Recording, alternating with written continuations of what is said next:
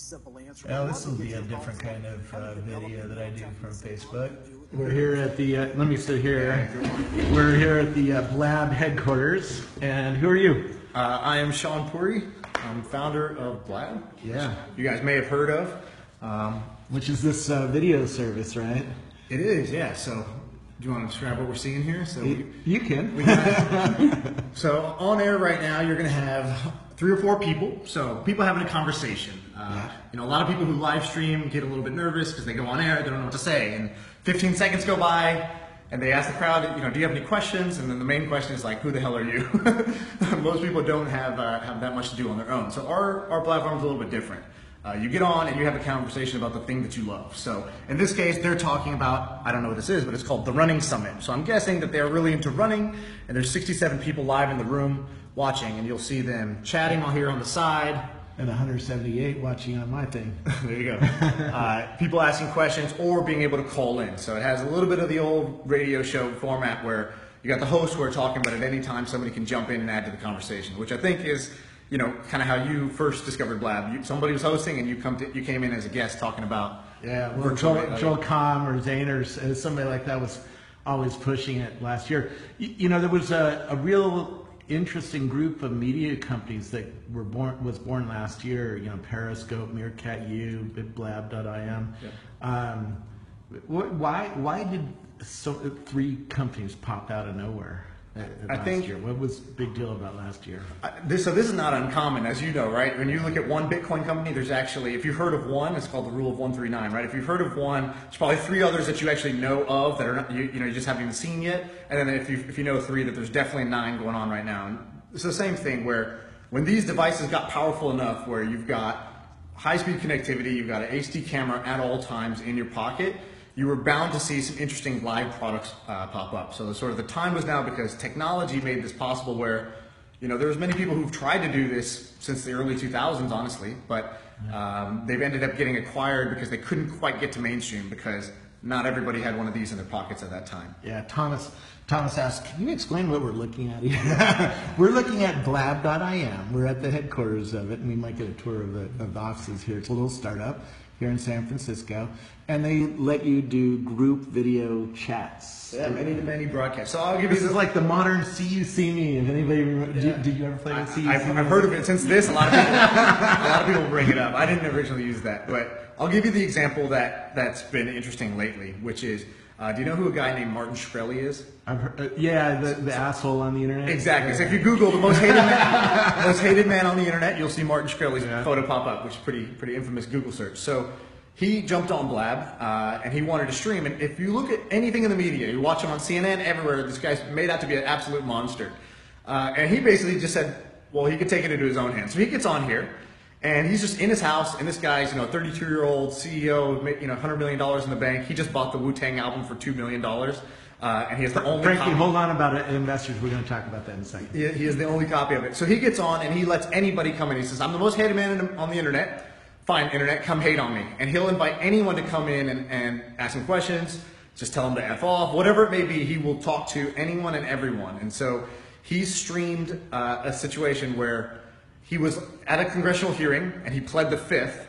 And basically his fans were watching the hearing live on Blab. Yeah. And then he left the, he pled the fifth and he left and he hopped on the train and he jumped on Blab and he was there doing commentary side by side with the hearing about what's actually going on, about where the senator is taking in, in this direction. He couldn't say it in the hearing, but he was comfortable saying it on the public internet. And that was kind of a crazy moment. Somebody asked, "Is he an investor?" Uh, he's not. Michael Birch is. An No, no, we only have we have one one investor and it's a couple, Michael and Xochitl Birch. Um, and so they they're the ones who have bankrolled this idea. They from the started start. Bebo, so and they made eight hundred million dollars by selling uh, Bebo. That's right. Uh, they started in the UK with that and uh, have done very well, and they're now funding. Uh, Yeah, so we, we actually bought Bebo back. So Michael sold it for 850 million. And then he came to me about a year and a half ago and he's like, you know, we might be able to buy Bebo back. It's become a shell of itself, but could we do something with it? So we bought it back for 1 million about a year and a half ago. that sounds like a good ROI. Exactly. Reverse Sell ROI. high, buy low, right? there we go. And uh, we bought it back and we, we reinvented it as something else. We launched it and we had half a million downloads in two months. And so to the surface, everybody thought things were going great. But as you know, as a founder, you're the first one to know when things aren't quite right. And uh, so we had a moment two months in. I said, look, the numbers are good on the surface, and we could keep doing this for a year, but we know this is not a winner. And we all came here to build a bit winner. Like I came here to build a YouTube, a Twitter. I want to build one of them. Like that's what I'm going for. Everything else is a loss. And uh, so we had a moment where we we. And you know within six months, maybe even less, whether you have something that's gr- doubling every few days, right? Yeah. ICQ came out in 1996, uh, November 1st, and it, it went to 40 people the first day. And uh, six weeks later, it had 65,000 users. Yeah. So you knew it was a winner pretty quickly. E- Even the first Bebo, in nine days, it had a million members. And this was back when a million members was a really big deal. Yeah. Of course, nine days later, none of them were using it anymore. The retention was terrible. And so Michael, for six months, fixed Bebo so it was sticky. But yeah, you can tell very early on with these products whether you have two things either viral growth, and it's just doubling every X number of days, or you have a small amount of people who passionately are obsessed with you. And that's, that's the other thing. A few people who really, really love you, and that means you're onto something. And in that case, we had a lot of people who kind of liked us. So we knew it was time to switch. And Blab was, Blab was the answer. Blab was what we came out of it with. So, you know, there's been lots of these. I mean, CU-SeeMe was the first example, right? Uh, lately, Google Hangouts, I guess, would be the example. What makes this different than Google Hangouts? Why, why do you think you have a right to exist in this market where there's billion dollar companies who have more fiber than God who can do this technically better, but, you know? I think I think you you will see that uh, focus beats resources every day of the week, and that's what's happened. We've taken every big Google Hangouts show that they had, and it's on Blab now. Uh, people have moved their paid, sponsored stuff that was on Google Hangouts to Blab within a week Yeah. because it just works. It works better. The devil's in the details, right? So, like Yeah, for example, it's easy to start. I, a Google Plus Hangout is a pain in the ass to start. Try to get someone to join. They got to log in with a certain thing, get an invite code, and find a way in. Get their mic to work, get their audio to work. And then even further than that is you never get any discovery. So most of us, like you, right? You want to create content and get the word out there. You want to become more known over time. A Google Hangout is a private thing. In Hangouts on Air, they never built discovery. Yeah. So the reason these work is because these guys can come on and talk about running, and maybe there's 40 people who care, but then those viewers start sharing. Like if I click this little button right here, this yellow button that says share the last 30 seconds, Yeah. it's going to share a little video clip of the last 30 seconds as a highlight out to Facebook and Twitter. And it's these little details that bring in new viewers that actually grow the Where, user base. where does that uh, innate uh, sensibility, social sensibility, come from? Uh, wh- wh- where did the because The ideas for these? yeah, not well, not everybody uh, understands how to how to make something really beautifully social the way you have.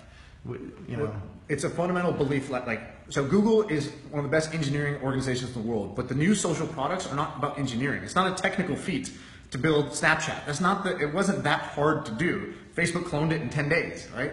It's because they understand psychology more than technology. Yeah. And so, if you understand the psychology of, hey, these people are on air, they want to, you know, they're putting themselves out there, they're getting on video, they want to feel the audience live, right? If they're doing it live, you got to show who's in the room. That's why we show the faces. You got to have the chat room pulsing, right? Even just a little feature like this, it's we let you know when it's someone's first day on Blab, and with one click, I can welcome them to the broadcast, and it's going to say, "Welcome to that person." Now, that little social dynamic is a big reason why that person in their first day will stay on Blab because they felt welcomed by all these people. We just made it easy to do it, right? We made it feel natural. And so we care about it. We think about the psychology all the time about why do people do what they do, and it's what we do best. I, a I big think company this might not is really important. I mean, right now I'm watching a lot of comments coming in. You know, uh, What are the from people saying? people all over the world. Oh, they're saying uh, how many corporate organizations are using Blab, like Peter Dawson says. Uh, uh, so to answer that, yeah, how many how many corporations are using this? You, a lot more than I expected. So we're still in beta. Uh, we are we're a very new product that's growing, but I thought the companies come later. But we've, we have IBM, Adobe, Cisco, SAP, like some of the people that you think are big and slow, they've actually been the first ones to adopt this, right? Cisco says, Cisco Careers gets on, they invite a whole slew of college students to attend, and they bring in people from who work at Cisco to say what it's like to actually work there. Let them answer questions from those students like a virtual career fair, you know, in 30 minutes instead of having to fly to each campus to meet a handful of students each time. So these companies have been pretty clever. I mean, ESPN uses this every week to broadcast, you know, uh, NBA hoops roundtables. They just talk hoops. And as an NBA fan, that's pretty awesome to actually be able to talk to that talent uh, instead of just seeing one minute highlight reels on SportsCenter. Car- Carl's asking, are you worried about? I'm using Facebook Live right now. Are you worried about Facebook Live? I don't think so because it's very different. Very different product, right? Like to do what you're doing right now, Facebook Live or Periscope, they're phenomenal tools to do that. Point a camera, broadcast a video. But to have a conversation, to host a conversation, we're a communications tool, really. Um, to do that, it, it just requires a whole set of features. If Facebook tried to do this, they'd ruin what they have. Uh, Same thing with Periscope. If they tried to do this, it would be very problematic for them. Yeah. Um, you really got to, I mean, with these startups, you know how it is. You got to have focus and know who you are. What's your identity? You know, we don't try to be something we're not. We try to be what we are. You know, Yeah. if you're going to go to a to a you know DJ Tiesto concert, don't use Blab. It won't be any good. There's not a conversation. you're just showing people an amazing concert. Yeah. Um, we're not for showing. We're for talking. We're for we're for conversations. Yeah, yeah. I, I'm playing with all these. They're, they're really interesting new ways to reach audiences and have new kinds of communities that interact with you. It's a lot of fun. I mean, you can see how fun uh, people are. You know, that, that you could just start up a little conversation with your friends, sort of like we do on uh, Gilmore Gang. You know, but Gilmore Gang has a TriCaster and uh, twenty thousand dollars worth of equipment. You don't need that anymore. Leo Laporte, when he featured us as like his pick of the day or whatever on, on TWiT, he he was on air and, and he discovered it and he goes, Man, for what we pay a million dollars a year for, you just made available for free for everybody. And he's like, It's not the same thing, but it's almost there and it Yeah. didn't cost you a million bucks. And so uh, that's the idea, right? You want to democratize these things where you don't need to be tech savvy. You don't need thousands of dollars worth of equipment in order to broadcast. Yeah, Antonio says uh, we can't use Blab in our projects because it doesn't allow captions. It's not compliant with the Disability Act. Are you thinking about that? Yeah, definitely. I mean, This is a real problem with live video. I mean, people ask me, you know, on Facebook, "Hey, can you do captions on Facebook Live?" No, I can't. I'm doing live video, and I don't have the infrastructure to one to uh, get a third party involved and caption my stuff. right. know? I mean, these are, And, there's and there's no Facebook algorithm that'll listen to my voice and Right. you know turn on a caption of some kind. it's very difficult, right? That's that's a technology problem, but you get there when you know as you grow, as you develop. I mean, I remember when YouTube first started doing captions, crowdsourcing that project. That was many years into YouTube. That was not, you know, for us, first eight months. It's it's not a problem you try to solve today. Uh, today, you solve the problem of like uh, nobody knows you exist. How the hell do you get your name out there? That's our problem today. Yeah. Uh, future problems. Uh, Peter's asking, uh, how are the private sessions of Blab, um, uh, and do do you offer private sessions? So right now there is no private. We've done all public so far, which is why we're growing rapidly, right? Because each broadcast is our best sales pitch. Somebody comes in, they discover it, they say, "Hey, this is really cool," and then they they stay. Uh, private doesn't spread in that same way. Um, so we've we've focused on public for now, but in, in, the, in the end, there will be a private version of Blab as well. Yeah, Frank, Frankie's uh, worried about uh, brand destruction issues, naked people, racism, porn, stuff like that, right? And that always happens when I was uh, running NetMeeting and CU-SeeMe. There'd be people showing up doing weird shit that you didn't want in your community. There's, But- there's a couple ways to, to fend that off. I mean, the first thing is that brands are already using it. So uh, even though some would be worried, I mean, you've got brands that have a lot to lose that are using it. UFC making fight announcements on here, bringing the heavyweight champion of the world, letting them do fan Q and A's, right? So there's there's big companies that have found ways to, to leverage this. Now the the trick is that when you call in, it's not chat roulette. You don't just join the square right away. You see the person's profile photo, their Twitter bio, you see how many days that they've been on Blab for. So you get a sense of is this person legitimate or not? And you can pick and choose as a host who gets in and who doesn't. Yeah. In this case right now they're answering questions from the crowd because most people like to type their questions and not uh not uh Not you be know, call video. in every single time just to ask it. Yeah, yeah. You might not even be dressed appropriately to be calling in. You know, you just want to type a question and, and So if, if your audience has seen the Product Hunt AMAs, we power all their live live chats that are video because our tool can actually be embedded. So you can embed Blab on any website on the internet and uh, just host it right there. Your, your visitors don't even need to know that Blab exists. They just need to know that you know on your website you're doing a town hall, you're doing a Q&A, you're doing a roundtable, you're doing something to interact with the audience. Yeah, I like this. You know, for the next week, I'm going to be exclusively on Snapchat um, when I go to South Africa, just to play with that. But I, I, I just uh, Snapchat's not not interactive this way with the community, I, and I feel that I'm going to use this a lot more over the next year than I, I have. Have you been thinking about building different kinds of communities, like communities aimed at video gaming, for instance, sort of like uh, Sw- uh, Switch does, right? Or uh, Twitch. Uh, Twitch, I mean. Which is a good name for a product. I like that. uh, we so we didn't force this. In fact, at the, at the start, we tried to just be tech, and then very quickly, uh, we were actually built on Slack. We were a Slack plugin, basically. That you Which makes use. sense because it's right down the street. Yeah, exactly. They're, they're buddies over there. So we started there. we a thought block away. We, we thought all the content was tech. And day one, I was the one. I was doing five shows about tech a day. Right. That's how you get started with things. But really quickly, people started using it for everything else. They started using it to just hang out. They started using it for music discussions. Started using it for politics. You know, the debates going on. Let's basically have our own little war room here where we're giving our opinion on what's going on. You know, we don't need to listen to Fox News. We can have our own stage. Yeah. So people started using for so many things. We decided let's let it be open.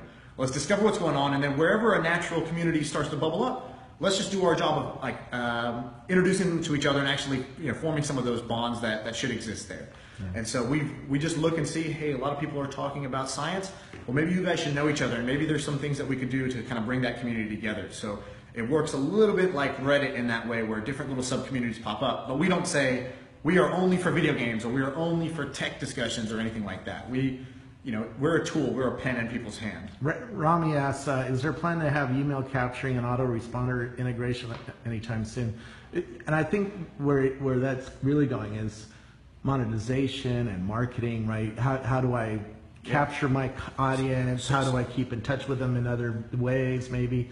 And then, uh, you know, how can I throw an ad in front of them or something like that? so right now, Michael Hyatt, who is uh, an author and I believe a marketer in some, some way, so he's a New York Times bestseller, Yeah. and he's doing his course called Platform University on Blab right now. These are all paying members of his that he's inviting to this. Now, um, in any of these open boxes, very soon you'll see something new coming out. So a little sneak peek for your viewers. So in one of those boxes right now, it's always just a person's face, they're talking. Um, but what we're going to do is we're going to allow you to drop in a link to anything. So like you can drop in a link to a YouTube video. You can drop in a, a link to a form which will capture email addresses. You can put in a link to a slideshare and give a presentation. So you'll be able to drop a link to any place on the web and have it be right there in one of those boxes for you to then talk about that thing. You and Ah. you know three other people can be talking about a live stream. You can put a Periscope in there, right? You can put a live stream in there and have a layer of commentary around it. Um, so, so it'll become more and more flexible over time, and that will open up, you know, step by step ways that people can make money and actually grab pieces of that audience. stuff. Exactly. Wow, that's really cool. Uh, BJ asks, how, how might Blab be used in the uh, near future of advanced IoT, IO, that uh, brain-to-brain communication? I don't think so. that's like ten-year plan. Yeah, that's a question for someone smarter than me to, to answer. Right? Well, you know, let's go. Let's go there. Augmented reality has bl- blown my mind, and soon, i.e., within five years, we're going to have glasses on, and I think we're going to see videos of each other in the glasses, and that's that's going to be fun. But uh, you know, that's what you'll see first is Blab 2025. You know? what, what, what you'll see first, and, and developers, Kickstarter projects, and even companies have come to us, which is they're going to announce their AR VR projects on here. Yeah. They're going to have the CEO in one one side. They're going to put a demo in the other side, and uh, they will take questions from the community of people who are jazzed up about it, who are enthused about it. It's a way to, to not just do pre-recorded content, but to actually interact with the people who care the most. Yeah. What's it like being in San Francisco? I mean, I uh, I just walked here from uh, Westfield Mall where they're doing a lot of re- retail store R and D, Right. and and walked by Eventbrite and uh, and Slack on the way here, and that's just in- in two blocks. Right. What, what's it like to be in this kind of community, and, and why? What what does that? What effect does that have on your startup? You know, it's it's the reason I moved here. I was in I was in Australia doing a startup before this, and I decided to move to the Mecca. Right, I was like, let me come see what they're doing here. What's what produces the different results? Is it smarter people? Is it more investment dollars? Like people have many theories. For me, it's a serendipity. Right, I I can walk out the street right now, and I will literally bump into a founder or an investor. I will have a random conversation. It will feel very normal to have an idea that I'm going to change the world. You can go to a coffee shop here, and it is if somebody introduces themselves as you know working for J.P. Morgan, they almost do it embarrassed. They're embarrassed when they say it. They say, you know, yeah, right now I work in finance, but uh, you know I'm working on this side project. Yeah. Everybody wants to be working on something creative that's changing the world. Here, that's normal. In every other city I've ever lived in, that's the outlier. You're the crazy guy going off the beaten path. Here, doing something different is normal. Uh, and so being in San Francisco just allows you to be around a bunch of other delusional people like yourself who, you know, why not us? Why not now? Answering those questions. Tell me technically how, how is this coded? What's the infrastructure like? What, what are you running on? What, what's the tooling? that So, so the most important thing to know is that we built it off of WebRTC. So a platform that, uh, you know, a technology that Google has put a lot into and, and pioneered, but it's open source and many people have, have, uh, have been able to make an impact on that. That allows us to be very, very flexible in what we're doing. So we're running a real-time room of, you know, in this case, he's had 179 live viewers in there, but these are really big rooms. I mean, the other night we had someone who had 15,000 people come through in three hours. And that's a giant conference. So this is a technological problem that uh, no company has really solved in real time. So if you go watch Twitch or you watch Periscope, there's a delay.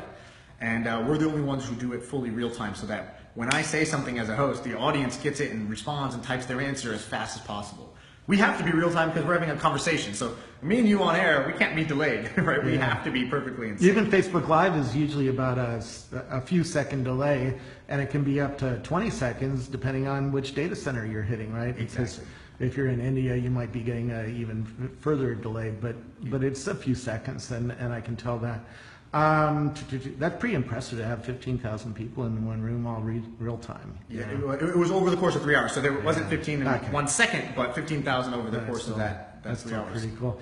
Uh, Doug asked a question I care a lot about. What, uh, you know, what's the recording like, and can I keep uh, interacting with people after the recording Yeah. is done? So right here you see this little recording light. That means that Michael, the host, decided to put this on the air. Uh, if he doesn't hit that, it's going to say off the record, which means you can still blab, but it's not going to be that part is not recorded. You could toggle this on and off throughout the whole broadcast. You could say, "Hold on, I'm going to go get some water," or "Hey, my guest is having a you know microphone issue. Just a sec. Let me let me make sure the recording doesn't get messed up." So you can toggle it on and off, and then it lasts forever. So when this is over, you get an email with the MP4, the MP3, and an embed code to put this on your site as long tail content. Um, so it's not, I mean, we're not Snapchat, quick, disappear, you know, self-destructing video.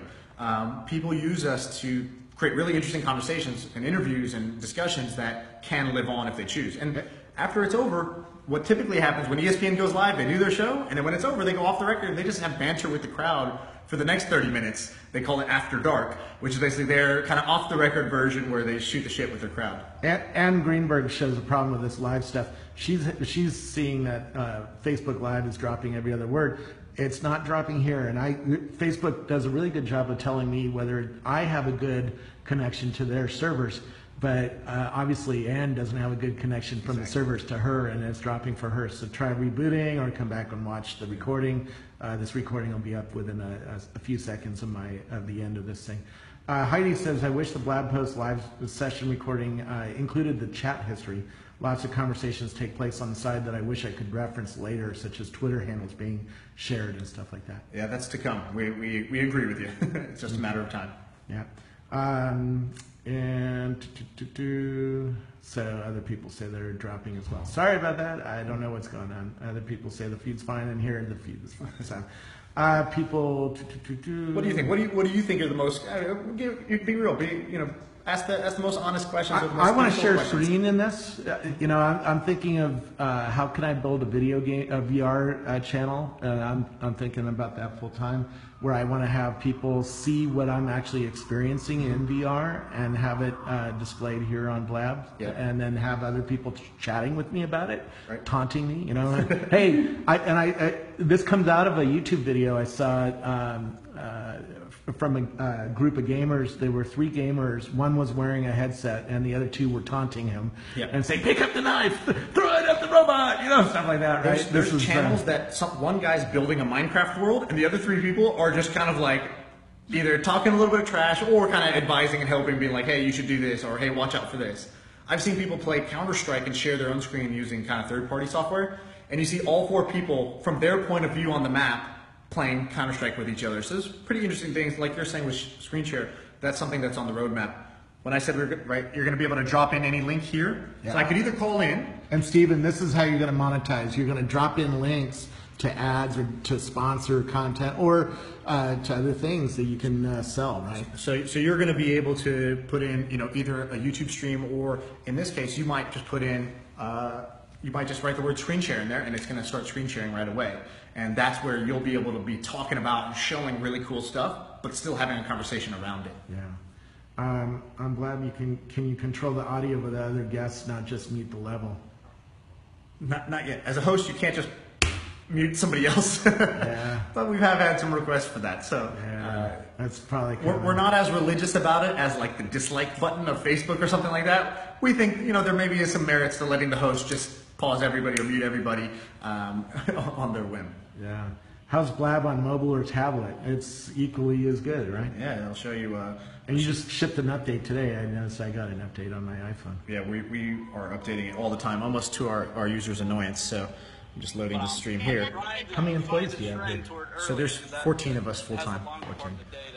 Um, so How many this is the whole- um, there are nine engineers. Nine engineers. That's a pretty good ratio. Yeah. And so, yeah, that's the mobile app. That's the mobile app. Uh, you, you can call in straight from here. You can listen to it. You can just minimize it and listen to it like a podcast, and just leave it in your pocket. So um, it's pretty flexible from there. Very cool. Um, anything else that we should uh, uh, cover? We covered investment. We covered uh, a little bit of your team, where this thing came from. We covered how to monetize. Uh, a lot of fun. What are you guys going to do at South by? I'm, I, I'm sure you're thinking about what to do at South So, by. so Brittany will be at South by Southwest. Brittany over there, but Yeah. but uh, the rest of our team, we're going up to Michael's cabin, doing a hackathon week for that week. We call it North by Northwest, Yeah. where we go get shit done while everybody else is at South by. That's good. um, yeah. Uh, does it embed a player on Facebook? It doesn't really embed a player, does it? It, it has a link out to Not yet. So this this share share 30 seconds. This you can do to Facebook. See, I got Facebook selected here. Yeah. This would share a little clip there um, to Facebook, which is not the live stream. It's like the most hilarious, most insightful 30 seconds. What just happened? It's actually a really good way to draw people in from your feeds because they're just browsing and they'll watch a 30 second nugget. Um, and then in the future, we will figure out how we're going to get the actual live stream piped to Facebook and Twitter. Yeah. Doug's asking, uh, can, can you build a SoundCloud style uh, timeline commenting feature where you could go forward and back in a, a recorded video and see when the comments actually came in? We actually have a prototype of that, so uh, Wow. it's very, very difficult to do. it kind of uh, the only reason we didn't push it out because it messes up about a third of the recording. So we said that's probably not too good. We should get that right before we push that out. But uh, yeah, we think that the chat should basically play back with the recording. If you're going to watch a replay, you want to watch the full experience. And then how, how do you help people discover cool new blabs? Uh, is there a store where I can, you know, type business blabs or sports blabs? So there are categories, there are tags that you can use to filter and say like, show me all what's in sports right now. Um, it's not great. Discovery's not great if I'm being honest with you. I think it's the area where we need to spend the most time. At first it was like, how do we get anyone here? And now that number is just going up. So okay, now we got users and growth and all that stuff. Now the problem is when you visit, we should show you something that you're really, really going to like. It means we got to have it be interest based and really take on discovery as a challenge. So. How many blabs are there so far?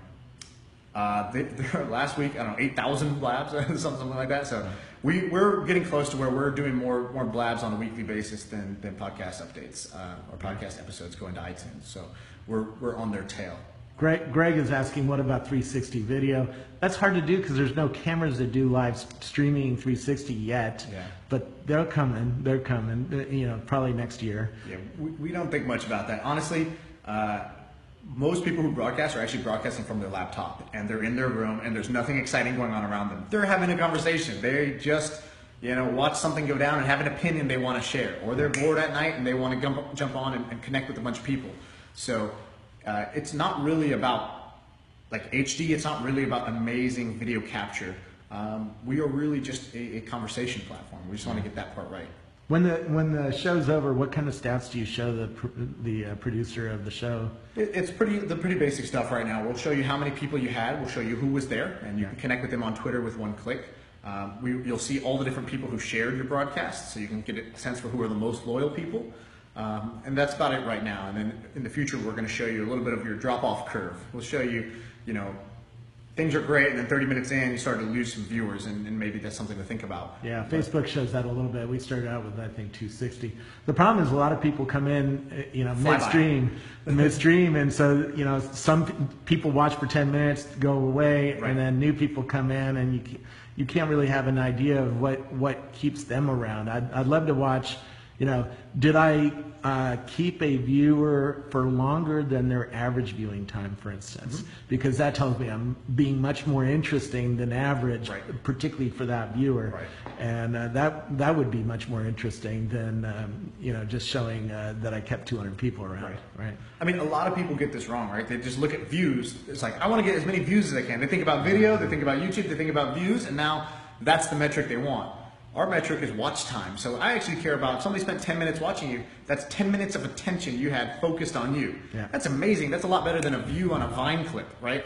So how do you actually, how do we get people to start thinking about this in terms of uh, attention that they're, that they're capturing people for? So um, over time, people will stop kind of using old metrics that they, you know, they're just used to, and start thinking about things that are actually relevant to what they're doing, which is the engagement, the conversation, the attention. Greg asked an interesting question. Can you Chromecast it or Apple Apple Play it to a big screen? Yeah, absolutely. I'm on my laptop right now. If I just, it's in a Chrome browser. If I, if I wanted to throw it up on this screen, I could with Chromecast. Very cool. And Jennifer says, what's the feature that you think is the greatest value for content creators that doesn't exist on any other platform? It's the multi Yeah, the part four boxes. it's the four boxes, right? Which, you know, Google Hangouts has, but you do it really well and make it so easy to join. It's the little things, right? You said, you know, what's how do you figure out the social nuances? On Google Hangouts, you have one person big, like a presenter, and then anytime someone else talks, laughs, coughs, they switch videos. All of a sudden, you get this spastic effect. On ours, we show both people because I want to see her talking and him smiling. That's the actual. uh, That's me being a fly on the wall for their conversation. I can see the dynamics of it. It's not about uh, Google doing something really cool, which was voice recognition, audio recognition, and quickly switching things. That was cool to an engineer, but it's actually destructive to a conversation, D- in my Doug- opinion. Doug asks a deeper question. Uh, how do you how do you get people to your uh, to your blog? What's the best? What are some tips for blab creators? You know, how do you make it interesting? And and that's a, a far deeper question, and we could probably spend you know an hour at South by Southwest talking about how do you get uh, promotion for your Yeah. for your blab and get people on Twitter and Facebook and LinkedIn to see it, right? Yeah, I mean, the, the simple answer is you go where they are. So the reason we harp so much on the embed is because we like going where communities already are. So if you have a blog, you have a website, or one of your co-hosts does, or you're making content relevant to a certain community. So like, we're embedded on Product Hunt, which means we get all their traffic, right? When people come for their Product Hunt live, uh, our, our community grows. And so the people who do the best are the ones who already have a following, the people who have a community. Yeah. But the thing is, it won't stop there. That's just who has the easiest. When ESPN brings in all these sports fans, they make it that much easier for me to make a good sports show because they brought in a bunch of people who are interested in the type of content I create. And now Blab will bridge that. We'll pool together all these audiences and say, cool, now that makes it available for anyone. But at the early days, it's the people who have a mailing list, people who have big websites that do the best because they just embed it right where they already are. They just link them to it. Yeah. Um, I think that's good enough for now. Uh, we can ha- go on endlessly, and that sounds like we should have a blab on this. Yeah, exactly. Hey, it's at Blab is our Twitter handle, and then blab.im is the website. Check it out. Uh, let me know what you think. Uh, My, my, my direct messages are open. We're probably the, I guarantee you, we're the most responsive team that's building any social product that's out there. So um, if, you, if you're looking to engage with people, you know the average the average Blab community member knows probably nine of my team members they, by name and face uh, because they see us all the time in Blabs. Uh, so you'll see us around. Very cool. And uh, thanks everybody for joining us. Uh, I love doing these little live videos with founders, and we're going to be doing a lot more.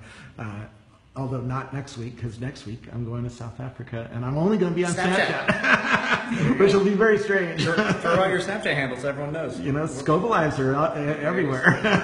Perfect. Scobleizer.